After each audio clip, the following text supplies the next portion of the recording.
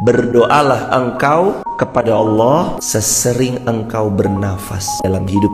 Kenapa? Karena hamba itu dia harus banyak berdoa. Bukti menghamba adalah banyak meminta. Tapi dia nggak minta sama manusia, dia nggak minta kepada orang kaya, dia nggak minta kepada orang berpunya, dia nggak berminta kepada orang yang punya jabatan, pangkat. Tapi dia mintanya sama Allah. Kita mengaku Apakah anda hambanya Allah? Ya saya hambanya Allah Kapan terakhir kali anda berdoa? Rasa-rasanya dua tahun lalu Kenapa dua tahun lalu terakhir berdoa?